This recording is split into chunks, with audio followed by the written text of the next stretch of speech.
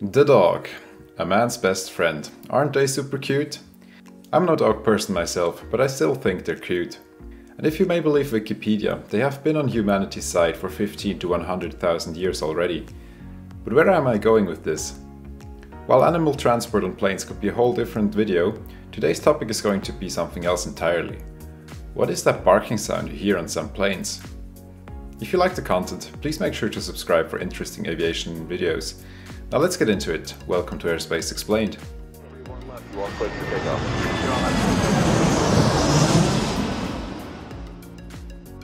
To be honest, the idea for this video came from my mother, who's a bit afraid of flying. And I must admit, the sound a plane makes during flight or even on ground can be a bit intimidating if you are easily spooked. And yet, the vast majority of these sounds are as harmless as they could be.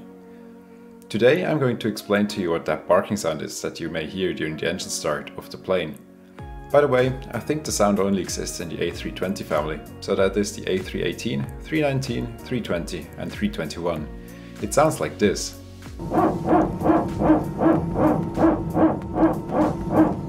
To understand where the sound is coming from, let's have a look at the A320's hydraulic system.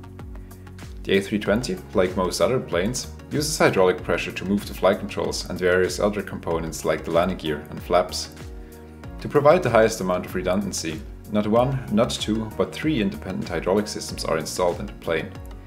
Each of them controls various components, and each of them is powered differently. The systems are named yellow, green and blue. The blue system is powered by an independent electric pump, while the green and yellow systems are each powered by a pump driven by one engine. The green system is powered by the left engine and the yellow system by the right one. So far so good, but does this setup bark? Yes it does. When Airbus designed the systems, they wanted to keep as much of the plane's redundancy in any case possible. So if one engine were to fail for whatever reason, one hydraulic system would not be pressurized anymore, and they wanted to avoid this. For this reason, this device was installed, a power transfer unit, in short PTU.